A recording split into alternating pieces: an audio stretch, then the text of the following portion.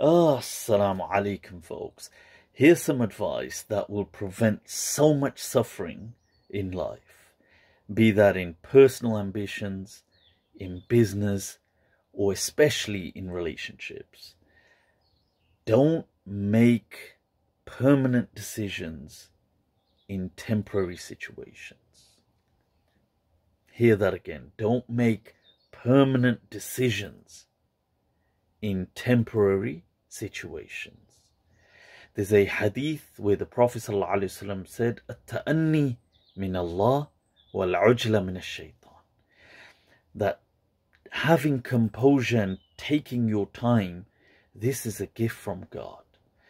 And reacting to something but by hastening to it, that is from shaitan. God bless you all. Wa